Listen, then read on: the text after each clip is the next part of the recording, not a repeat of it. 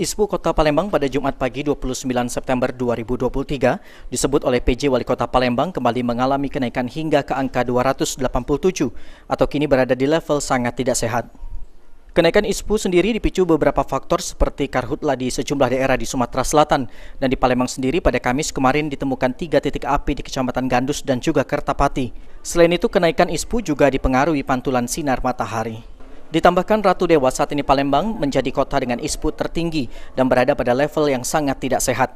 Oleh sebab itu, asisten satu Setda pemerintah kota Palembang diminta mengambil sikap dengan mengadakan rapat koordinasi tentang kegiatan belajar mengajar siswa TK, SD dan juga SMP, apakah akan diubah jam masuk dan pulang atau ada solusi lain yang melindungi kesehatan siswa.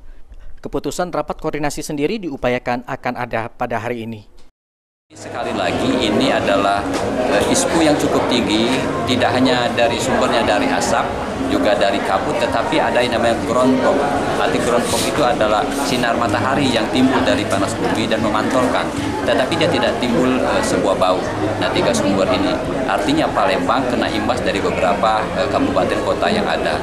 Untuk itu saya dalam rangka menyikapi ini, pertama karena sudah relatif tinggi uh, cuaca kita uh, Palembang sebagai kota yang ispunya tertinggi di 287 uh, termasuk kategori sangat tidak sehat. Maka pagi ini saya minta Pak Asisten satu untuk mengambil sikap kaitan dengan proses belajar mengajar anak SD, TK, dan juga SMP. Sandi Pratama, PAL TV.